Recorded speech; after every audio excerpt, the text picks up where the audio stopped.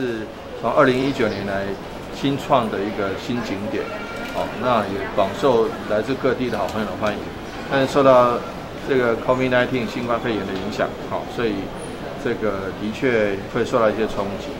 啊，但是其实这个一九六八哈，坦白讲，现在五一连假里面，呃，这这波台南的这个对观光旅游的冲击的确是不小。所以我觉得其实还是，呃，要跟各各位跟大家报告，我们都做好防疫的准备了，啊，也做好人流的管制的，现在就缺人流来管制，啊，所以说我们，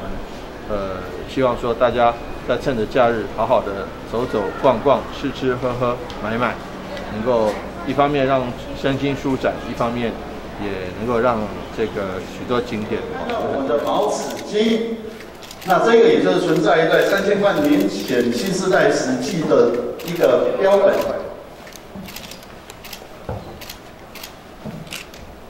它的牙齿就真的像这样子。这个牙齿的特色就在于，它是从上面那一只下来的时候，前面这里是陆生的一个痕迹，这是在陆路上的痕迹。